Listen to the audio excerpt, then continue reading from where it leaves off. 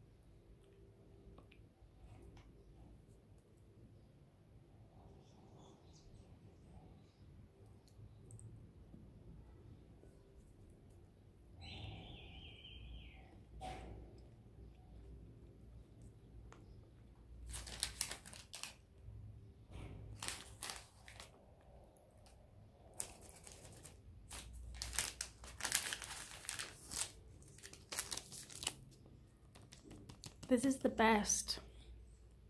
I love it.